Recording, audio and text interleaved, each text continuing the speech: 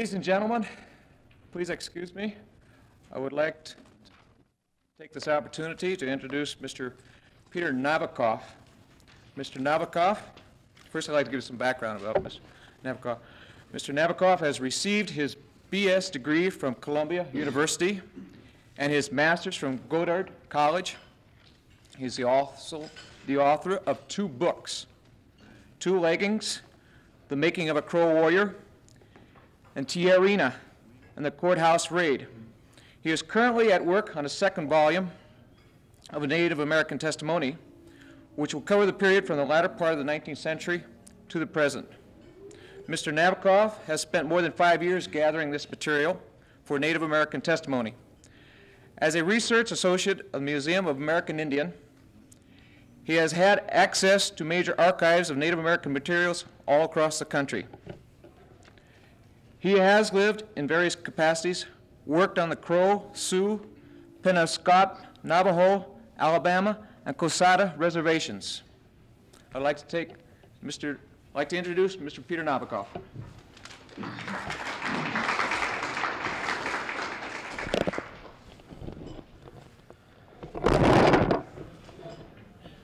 Sorry, I wanted, I wanted it out of my way, just out of my way.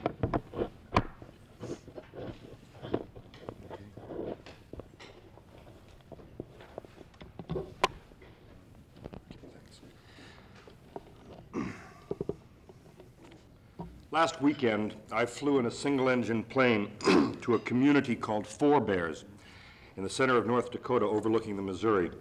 It is in the heart of Mandan, Hidatsa, and Arikara country, what's left of it. I was in a bar there when a tall Indian wheeled around on his bar stool, pinned my eyes with his, and said slowly, as if speaking to an unseen audience behind my head, Those white people are drowning me out. I looked around for the culprit while his eyes bored through me, then back. What me, Indian scholar, collector of Indian testaments about Indian white relations? But of course he was on the mark. For the Garrison Dam Reservoir that drowned the Mandan sacred town sites in 1955 was as personally felt and as impersonally leveled against an entire civilization, the most ancient in the Great Plains, I might add, as his general accusation was aimed at a not looking, not seeing way of life that was represented at that moment by white faced, well meaning, middle aged me. Then, on the huge jet barreling home two days later, I sat beside a businessman puffing on a pipe who glanced out the window at the neatly framed and tamed, miniaturized Rocky Mountains down below, then turned to ask if I'd ever driven across the country. I said I'd thumbed across a number of times, and he said with a curious tone of longing in his voice, You know, it seems almost sacrilegious to go over it like this without having to go from place to place and getting sort of to know the land. And that was his word, sacrilegious. I thought later how their comments shared a sense of loss, but were as wide apart as the Atlantic Ocean in the context they brought to this land. And I was struck anew by the immense gulf between a people for whom the land and its creatures provided identity and spiritual connection, and a people who had never really acknowledged this inner power, this sacred force, and so had come to exploit it to their peril. I want to say at the outset that I speak here as a student of Native American traditions, not as white shaman or participant in any Native American religious disciplines. I am one of the wanderers across this land, too often above it, who has nonetheless sensed its powers and has been at a loss to reach them. I believe with Carl Jung that human beings cannot flourish in a spiritual desert, no matter how effectively they control the water, manage the wilderness, or tear out the riches of the earth. And I believe that unholy treatment of the environment reflects poverty of the soul and I believe it is long time the past to ask some new, some old questions anew, and to reconstitute some homegrown ways for reuniting with the sky, the earth, and our brothers and sisters, the four-leggeds and the wingeds, who in their wisdom have lived here so long. I believe, as Jung wrote in one of the very last letters of his life, as death approached, and of all the world's spiritual disciplines he had studied, he turned to Native America, and he said, we are sorely in need of a truth or a self understanding similar to that of ancient Egypt, which I have found still living with the Taos Pueblo. Their chief of ceremonies, Mountain Lake, said to me, We are the people who live on the roof of the world. We are the sons of the sun, who is our father. We help him daily to rise and to cross over the sky And we do this not only for ourselves, but for the Americans also. Therefore, they should not interfere with our religion. But if they continue to do so and hinder us, they will see that in 10 years the sun will rise no more. And Jung added, he correctly assumes that their day, their light, their consciousness, and their meaning will die when destroyed through the narrow mindedness of American rationalism. And the same will happen to the whole world. But we are talking here not only of a relationship to a landscape and earth and sky that we can see, but of an inner landscape, the soul behind the surface that our eyes pick up. The kind of landscape that the artist chronicler George Catlin could not comprehend when in the 1830s he was halted from his explorations on the banks of the St. Peter's River while searching for the fabled quarries of sacred red pipestone. A Dakota named the Swift Man tried to persuade Catlin to turn back, arguing that whites had already desecrated the sacred material by turning it into trinkets. But Catlin replied he meant no harm and brandished the all-important passport of objective scientific inquiry. The Dakota still resisted, trying with words to explain, and Catlin's account has them practically saying to him, You will not see what you are going to see. Behind the standoff lay two conflicting views of the earth, and guess which one? Catlin did reach the quarry, and the brick red soapstone was henceforth named Catlinite, and we all know that we own what we name. Not until the 1920s did the Yankton Dakota secure the site back, and they had to have it designated a historical site, not a holy shrine, to safeguard it. This inner landscape was the same terrain which a Zapotec Indian in the highlands of Oaxaca told me about last year as we were cutting alfalfa with hand sickles side by side. I had asked about house blessing ceremonies. Did his people have them as the natives of North America did? He didn't look up at me, but said methodically, when we build a house and it is finished, the Catholic priest comes, and our relatives come, and he blesses it with holy water, and we have a feast. But I pressed him, what about, build, what about blessing the building site itself? There was some silence and the swish of our sickles, and then he stopped and looked at me and spoke very softly under his breath. When we lay out a house, we first bless the land. We feed the land. Maybe it is a superstition, but we feel it is our mother, and that is our old, old belief. So we kill a turkey or a chicken, and an old man, one of our own, sprinkles its blood in the corners. We bury chocolate there and tobacco, and we pray together. In this way, we feed the land, which, as I have said, is our mother, and then later we let the priest come and do his blessing. This is the same inner landscape that continues to preoccupy Native American traditions and those invested with its survival. Oren Lyons, an Onondaga medicine man, gave the writer Scott Momaday a vivid look at the process of transmitting this basic teaching as Lyons told it.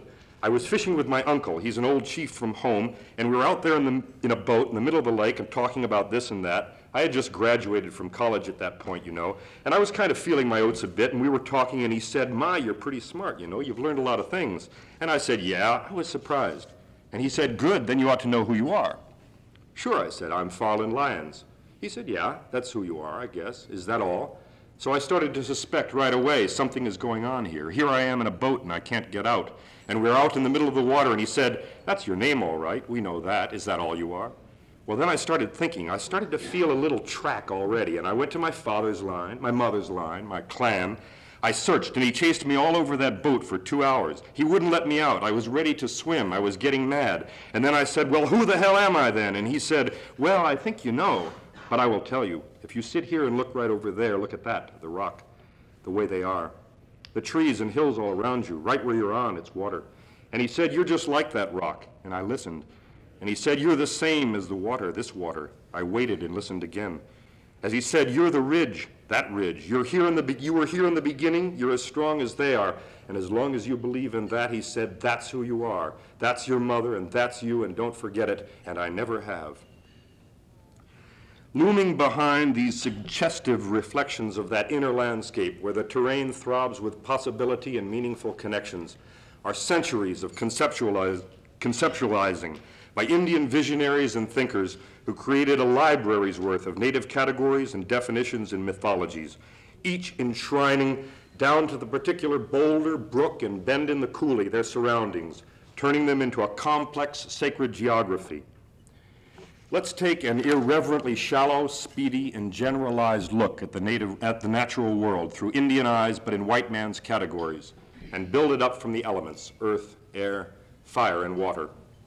As the Dakota author St- Luther Standing Bear tells us, it was not only on holy days and feast days that his people acknowledged their intrinsic bond to the earth. The old people came literally to love the soil, he tells us. They sat on the ground with a feeling of being close to a mothering power. It was good for the skin to touch the earth, and the old people liked to remove their moccasins and walk with bare feet on the sacred earth, for the soil was soothing, strengthening, cleansing, and healing. Equally precious and powerful was fire, granting man light, linking it with the sun, preserving the spark of life. As the Chippewa philosopher advises his people, the fire must never be suffered to go out in your lodge. Summer and winter, day and night, in storm or when it is calm, you must remember that the life in your body and the fire in your lodge are the same and of the same date. If you suffer your fire to be extinguished, at that moment your life will be at its end. Thus, among the Natchez, the last of the great southeastern mound builder cultures to last into historic times, a temple housed a perpetual flame fed by only three pointed sticks. Perpetual, that is, until the French brutally destroyed their temples in the 18th century and extinguished that flame. Of water, too, there is no end of references to inner powers waiting to be liberated through ritual inroads. The Navajo take pains to distinguish used water which is less than human and controlled, irrigation water, for example, and untouched water, generally free flowing, which the Pawnee would insist, which is superhuman and sacred. Naturally, the agricultural Pueblos yearn for an especially bountiful relationship with water, water which is the blood of the land, as is evoked by this Zuni formula for drawing down rain. When our earth mother is replete with living waters, when the spring comes, the source of our flesh, all the different kinds of corn, we shall lay to rest in the ground. With their earth mother's living waters, they will be made into new beings, coming out standing into the daylight of their Son Father, calling for rain to all sides, they will stretch out their hands. And then, from wherever the rainmakers stay quietly, they will send their misty breath. Their massed clouds filled with water will come out and sit with us, far from their homes. With outstretched hands of water, they will embrace the corn, stepping down to caress them with their fresh waters, with their fine rain caressing the earth. And yonder, where the roads of the rainmakers come forth, torrents will rush forth, silt will rush forth, mountains will be washed out, logs will be washed down. Yonder, all the mossy mountains will drip with water.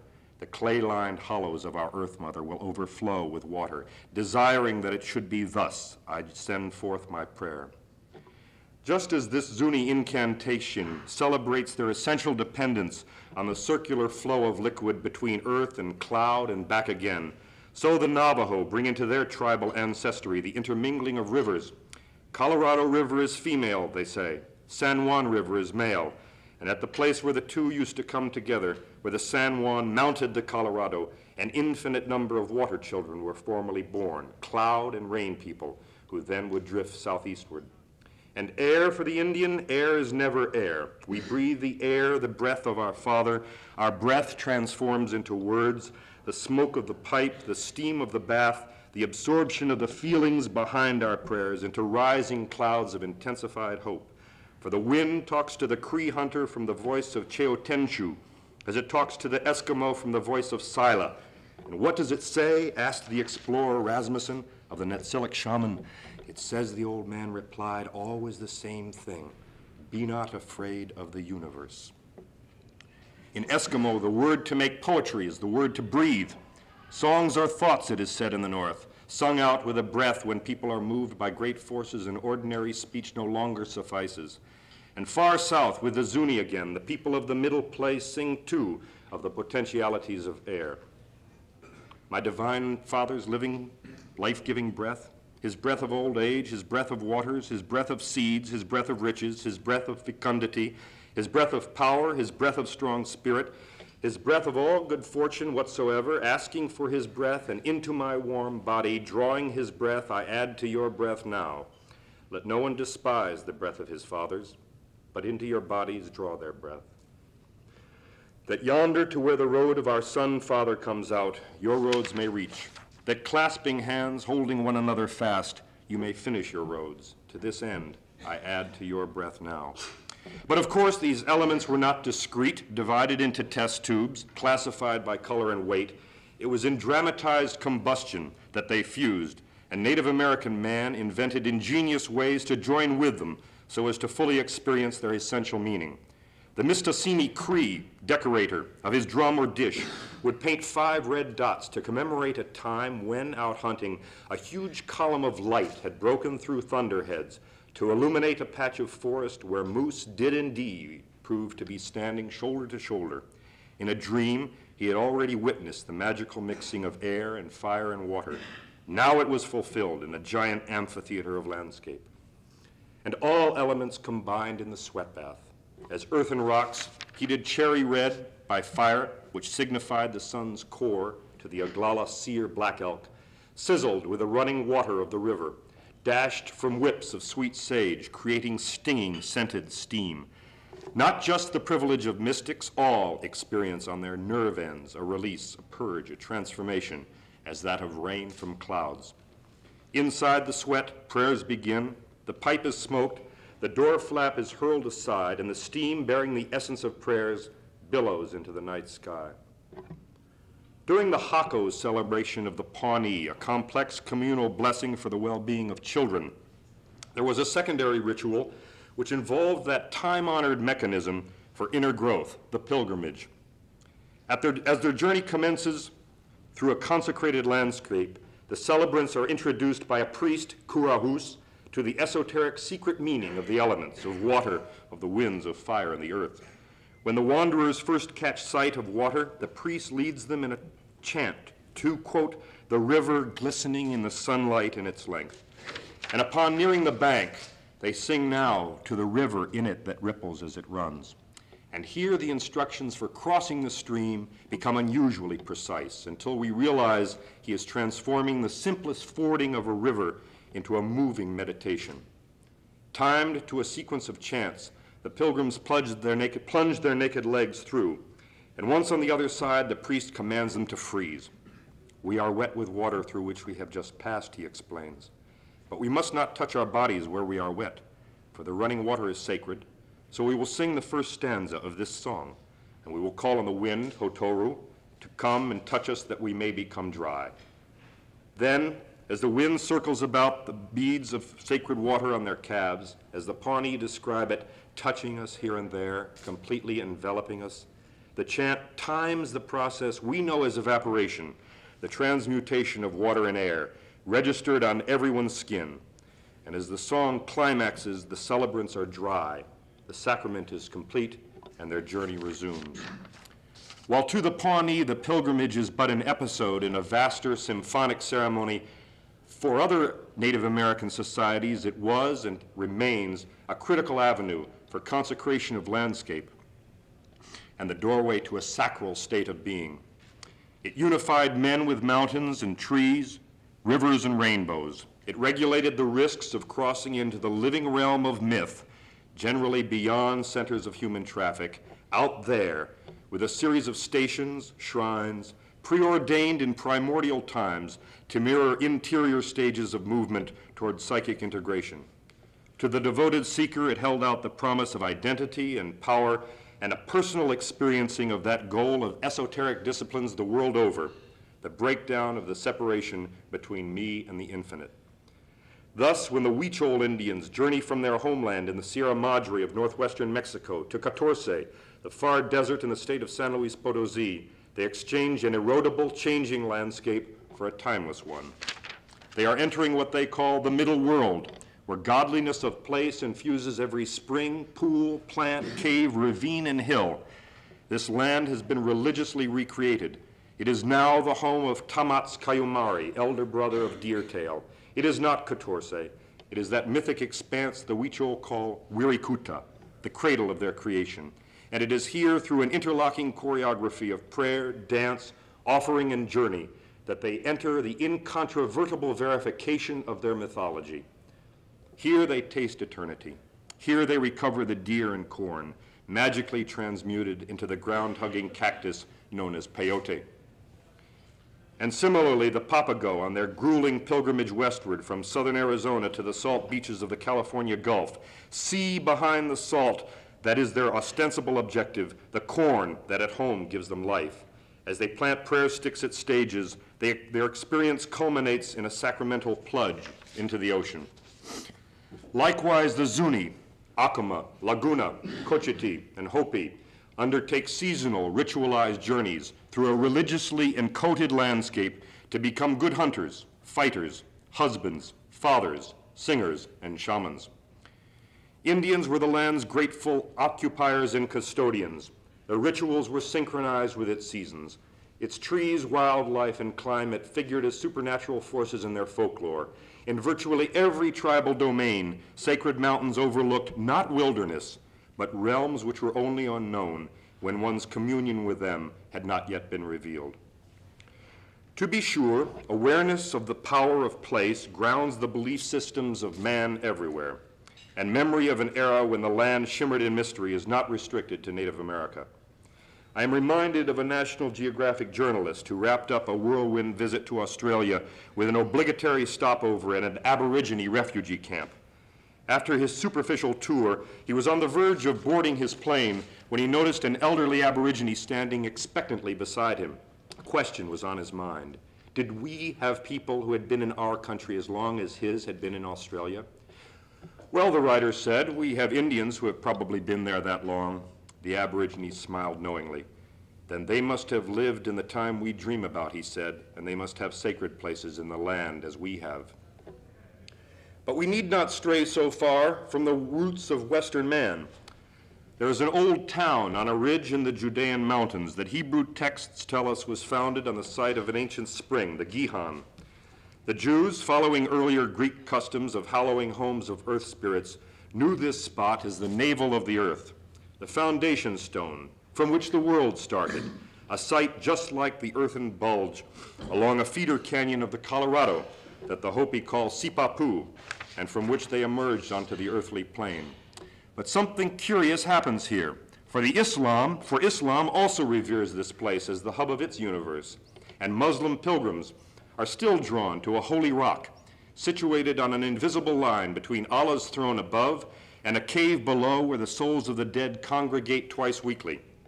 Before the creation of man, they believe, angels visited this very rock 2,000 times. It is a survivor of paradise.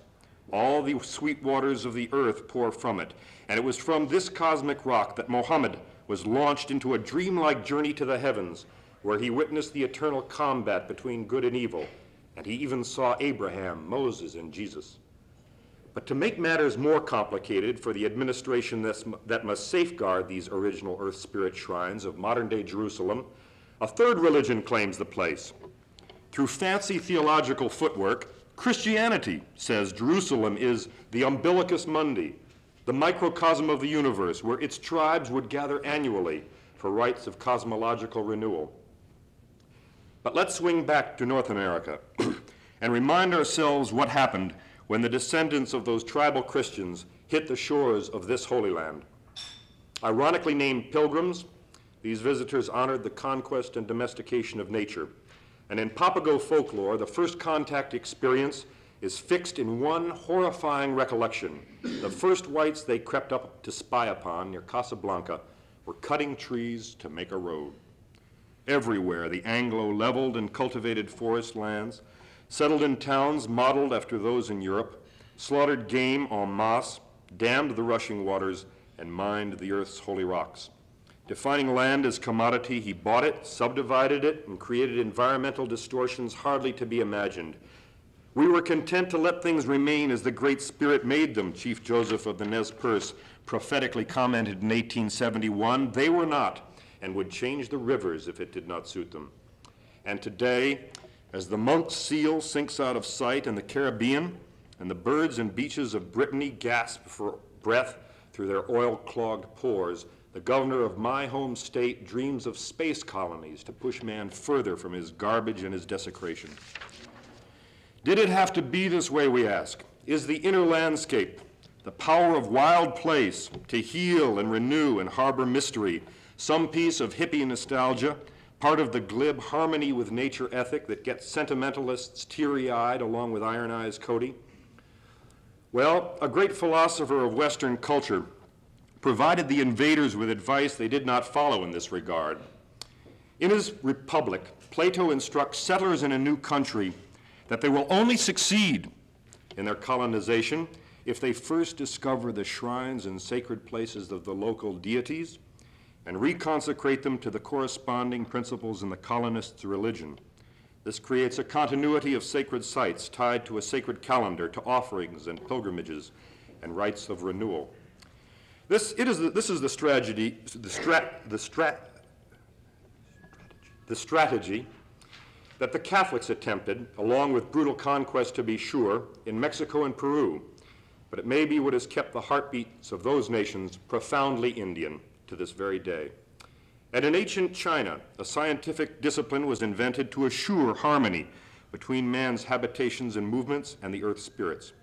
Known as Feng Shui, this great environmental doctrine has been defined as the art of adapting the residences of the living and the dead so as to cooperate and harmonize with the local currents of cosmic thought.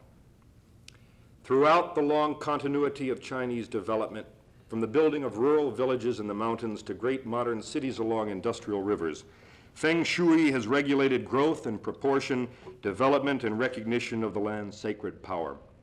As the 19th century, as a 19th century British clergyman, one of the tradition that launched the crusade against the Holy Land of America, wished a hundred years ago, would God that our own men of science had preserved that sacred awe and trembling fear of the mysteries of the unseen, that firm belief in the realities of the invisible world and its constant intercommunication with the seen and the temporal, which characterize the Chinese gropings after natural science. American men of science have little interest in such superstitious nonsense, but the good cleric need only have gone to Taos, New Mexico to see the American equivalent of Feng Shui in one of the country's longest pitched battles over a sacred landscape and watch it win. The stunning backdrop of the five storied Pueblo of Taos in far northern New Mexico is Taos Mountain and the 48,000 acres of forested land that it overlooks. Buried deep in this glorious countryside is Blue Lake, a cherished place of pilgrimage for the ancient Pueblo. In 1906, these ancestral lands were summarily appropriated from Taos by the Theodore Roosevelt administration and reconsecrated all right as Carson National Forest, named for that soldier who flushed the Navajos out of Canyon de Chelly 50 years earlier. Immediately, the Pueblo began its patient, determined, almost Gandhian campaign to retrieve the territory as one scans their testimonies before Congress in the 20s, the 40s, the 60s, it is as if it was one single flowing, painstaking effort to explain what could only be felt, to portray what could not be seen, the holiness of place. August legislators like State Senator Clinton Anderson could never understand why the Taos people needed all that land. They tried to pin them down. Why did 16,000 acres needed for a church. Now I'd like to ask a question, said a House committee chairman in 1943. Do you have any place in that territory that's yours which you would not object to drilling? And Taos council member Ferlino Martinez answered, Every inch of our land is religious land, a place of sacred shrines, and there is no place you could put a dam without hurting the Indians. Well, what about exploratory drilling? Wasn't there some place where we could test for materials which would not be offensive to your religion? And Martinez replied, Whether you put a little sugar on this bill or not, it still will not taste good to us. While another Taos man testified at the same hearing. Now, we have very good friends among the white people, and we have some bad enemies too among the white people. Some want to find out what are the sacred shrines. The only answer to that would be foolish. It would be to send a telegram to Jesus Christ to find out. And then when you get an answer, then the Indians can be notified, and then you will know as to why and how those most sacred places are planned and reserved for us. And over a century later, the Pueblo's spiritual leader, Juan de Jesus Romero, wrapped up the Taos argument. Our Blue Lake wilderness keeps our water holy, and by the water we are baptized. If our land is not returned to us, if it is turned over to the government for its use, then that is the end of Indian life. Our people will scatter as the people of other nations have scattered. It is our religion that holds us together. At the end of that year, on December 15, 1970, to be precise, in a rare act equal to the wild inspiration to visit China, President Richard Nixon signed into law the restoration of the Taos sacred ancestral lands, all 48,000 acres in perpetuity. But the sacred pipestone quarry and the Taos victory were token bows to the earth spirit, legislative write offs to avoid a bad press. What is needed to respect the equally sacred sites of the Hupa, the Yurok, the Penobscot, the Winnebago, the Cree, the Chumash, and countless Native American nations is the same kind of legislation which Israel had to institute when its new conquest, conquests brought those Christian and Islamic places of pilgrimage under its rule. On June 27, 1967, the Israeli Knesset enacted a Protection of Holy Places law, which read, one, the holy places shall be protected from desecration and from any other violations, and from anything likely to violate the freedom of access to the members of the various religions, and to places sacred to them or to their feelings with regard to those places. And two, whoever desecrates or otherwise violates a holy place shall be locked up for seven years. But of course, before that can ensure the perpetuation of the many overlapping tribal holy lands that once made this continent a throbbing hub of invisible power, the yearning for them in us must be revitalized in our hearts. If this inner landscape is to be freed from the chains of dams and suffocation of chemical air, each of us must commit herself or himself to a true revolution of consciousness. Each of us must admit that we are in the dictionary definition of a pilgrim, a stranger in a strange land, in urgent search to break through our skins and experience, in whatever ways we are graced to do so and work to do so, our timelessness and the interwoven relationships of all combination of elements. We are children of the stars, the Pawnees knew. We carry the substance of the earth and the heavens within ourselves. We need unquestioned protection for her places of spirit and power, even when many of us do not know where they are or why. That is not our knowledge at first. It is the knowledge of the remnant societies who spent generations evolving sane reciprocal relationships with her. And then we must find ways to respectfully ask of Indian communities to be taught those why-fors and wheres. We may need to ask a number of times with proper offerings and patience in the tried and true manner of sincere, sincere disciples. we must then ask to share the use of this inner landscape in a new age when its powers are more dearly needed than ever before. And even then, we, may, we must be willing, unlike George Catlin, to accept no for an answer and still have the basic decency to make certain that her desecration stops now. Thank you. Okay, Time question answer, or do you want to go? Okay. Sure.